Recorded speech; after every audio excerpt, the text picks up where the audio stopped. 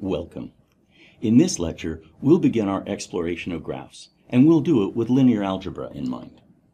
The main concepts for this lecture are graphs, which you may know from other courses, are composed of vertices and edges. We'll go through some of the basic definitions that we require for graphs. We'll represent an adjacency matrix for a graph, and we'll discover that it's a symmetric and matrix that has binary entries. As we go through this lecture, let's think about the problem of how to represent a general graph as a matrix. An example is in London, England, they have a very famous, very old um, underground rail system that's often referred to as the tube. And the map of this is widely known. This is an example of part of the downtown map for the London Underground.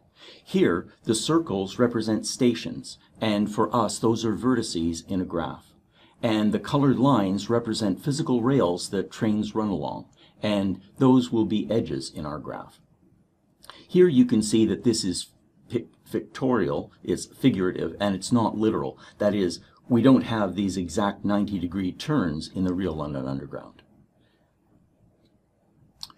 So now, what is a graph for our purposes? Well, it's a mathematical structure and it has a set of non-empty vertices. We're going to require that these be finite, and we'll write these as the symbol v, and then we'll subscript them as needed with an integer.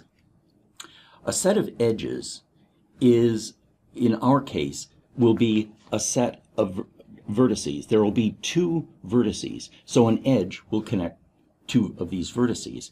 We'll write this as the letter E and we'll subscript it with an integer. And here, let's observe that this doesn't have a direction. That is, we could write an edge as ij, or we could write the edge as ji. It's still the same edge.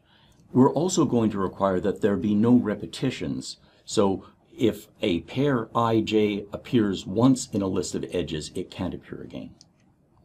We'll write a graph as the symbol G, and we'll refer to it as having vertices and as having edges. So one example is our set of vertices may be 1, 2, 3, 4, 5, and then our graph would be the pair 1 is connected to 2, 1 is connected to 3, 2 is connected to 3, and 4 is connected to 5.